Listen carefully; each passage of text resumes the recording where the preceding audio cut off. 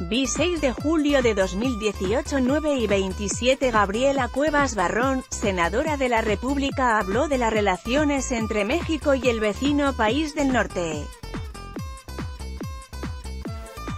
Foto propiedad de Adolfo Vladimir barra cuartoscuro.com México, al recordar que hace años no se da una visita oficial de ningún presidente norteamericano a México, Gabriela Cuevas Barrón consideró importante la posible asistencia de Donald Trump a la toma de posesión de Andrés Manuel López Obrador como nuevo presidente.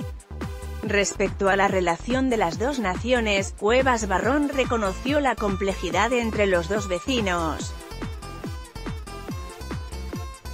Es una relación tan compleja, que va de por medio la frontera más transitada del planeta. Todos los días la cruzan un millón de personas. El reto no es menor, aseveró.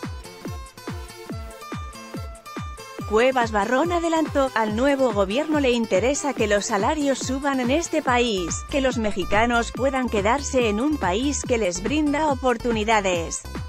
Como vecinos y socios de los Estados Unidos, nos afecta la guerra comercial entre Estados Unidos y China, dijo la senadora.